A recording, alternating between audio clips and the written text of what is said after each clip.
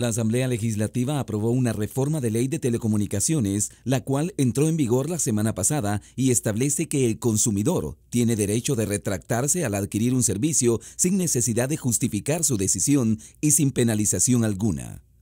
Así lo establece el artículo 13-A de la Ley de Protección del Consumidor, la cual indica que todo consumidor tiene el derecho de retracto para dejar sin efecto un contrato, siempre y cuando no hayan pasado ocho días desde la firma del contrato y que no se haya empezado a usar el producto o el servicio no se haya comenzado a brindar. Hay un marco de regulación más amplio que no solamente incluye la materia de telefonía móvil, sino que también estamos se estarán incorporando pues, disposiciones que van a regular los servicios eh, de roaming, los servicios de internet, ¿verdad? Se mejora y se amplía lo que es la tutela de derechos y también los mecanismos de atención a los consumidores. Otras medidas que ampara al consumidor para poder retractarse de un contrato es cuando el convenio es celebrado fuera de un establecimiento del proveedor, que el contrato se firmó a distancia en el marco de una actividad empresarial o cuando está reconocido en la propia publicidad o el mismo contrato. Los saldos ya no tienen vencimiento en el caso del prepago,